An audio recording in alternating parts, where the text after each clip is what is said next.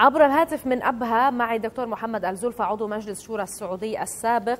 لم ينزع سلاحه حزب الله. هل ممكن أن يقوم بهذا يوما من الأيام؟ أنا أعتقد أنه من الضروري جدا آه، أن تنزع كل الأسلحة من المنظمات الإرهابية. وكل أسف إيران أفرزت منظمات إرهابية آه، حزب الله في لبنان الحوثيين في اليمن. آه، أيضا نعم.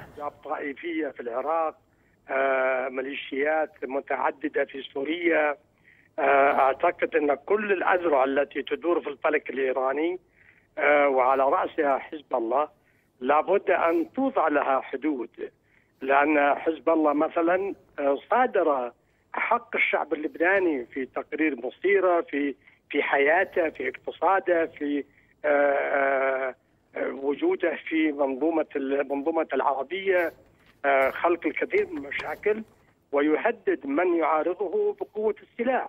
نعم كيف سيتم التعامل مع هذا الموضوع دكتور محمد؟ فرض العقوبات هذا أو هذا الموضوع سيشكل سابقة بكيفية فرض العقوبات المالية. إلى أي درجة هنا نتحدث بشكل مباشر أو غير مباشر عن إيران؟ أنا أعتقد أنه حديث الرئيس الأمريكي اليوم حديث واضح وصريح موجه إلى إلى إلى إيران والخطاب موجه إلى أذرع إيران في المنطقة. القرارات اللي اتخذها آه، اتخذتها الولايات المتحدة الأمريكية في آه، وضع قيود وعقوبات على حزب الله وعلى ما يقوم به حزب الله من أعمال تتنافى مع المبادئ الدولية، تتنافى مع حقوق الإنسان، تتغاير مع آه، كل القيم التي فطر على الإنسان. وأيضا استباحت حق حكومة لبنان في أن تكون حكومة أو دولة له مكانته ليس تحت رحمة آه، آه، حزب الله وسلاحه، أنا أعتقد أن الحصار الاقتصادي والعقوبات الاقتصادية على حزب الله لدرجة أنه أصبح أكبر متاجر بالمخدرات في العالم، أغرق البلدان العربية بالمخدرات آه، إضافة إلى تخويف حكومة لبنان وتخويف الآمنين في سوريا وفي العراق وفي البحرين وفي اليمن بقوة السلاح التي آه، إيران لا تتوقف أن تمده بأشرس أنواع الأسلحة وبحجة أنه سيحارب إسرائيل ويحارب الشعوب العربية يحارب آه، السوريين يحارب المصري اليمنيين.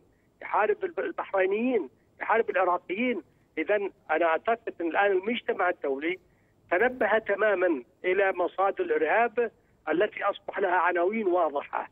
إيران ومن ثم بكل أسف دولة عربية خليجية أصبحت ذراع قوي لتمرير الإرهاب وتمويل الإرهاب وهي قطر. أعتقد المجتمع الدولي الآن عليه مسؤولية لمحاصرة الإرهاب أينما كان. وتجريد المنظمات الإرهابية من أسلحتها والتضييق عليها ماليا والتضييق عليها سياسيا وتقوية الحكومات للوقوف في وجه هذه هذه العصابات الإرهابية المسلحة. كل هذه المواضيع هذه الملفات بالفترة الأخيرة إلى أي درجة هي مرتبطة ببعض وبالتالي الفترة المقبلة ك آه، يعني ما يحدث من إجراءات كما قلنا من آه، أمريكا اليوم سيكون مرتبط ببعضه. عندما نتحدث عن قطر عندما نتحدث عن دعم الإرهاب عندما نتحدث عن هذا التصريح فيما يتعلق بحزب الله والممولين لأي جماعات إرهابية ليس فقط الفرض عقوبات على هذه الجماعات الإرهابية أو حصرها الممولين يعني جذور الإرهاب هذا. لأي درجة كل هذه الملفات مرتبطة ببعضها؟ مؤكد آه، كل هذه الملفات مرتبطة ببعضها ولها مظلات آه، واضحة ومعروفة. إيران قطر الإخوان المسلمين المنتشرين في أكثر من موقع وأيضا إيران المسلحة في المنطقة. سواء في لبنان في سوريا في العراق في البحرين في اليمن. نتصور الآن الرهان رهان إيران وقطر أعتقد أنه الآن في على المحك تماما. إنه آه، ما مارسوه على مدى عقدين من الزمن في حالات من التشرذم العربي والفراغ العربي من الوقوف آه، في وجه مثل هذه المنظمات وهذه العصابات المسلحة. أعتقد الآن بما إن قطر في دائرة ضيقه الآن إيران الدور عليها دوليا. آه، المنظمات هذه كلها ستختفي باختفاء القواعد والحاضنات الأساسية نعم. سواء إيران ولا قطر ولا من على شاكلتهم فأعتقد إنه ال- ال- الآن دول المقاطعة لقطر المحاربة للارهاب هؤلاء عندهم الحرص والإرادة على التنظيف في الساحة العربية من كل. مصادر الإرهاب وممول. الإرهاب والقائمين بالإرهاب هنا توجه جديد وعالم جديد نخلقه نعم. نحن العرب اولا ومن ثم أيضا معنا المجتمع الدولي الذي يقول إنه يحارب الارهاب أنا أشكرك جزيلا. من أبها دكتور محمد الزلفى عضو مجلس شورى سعودي سابقا.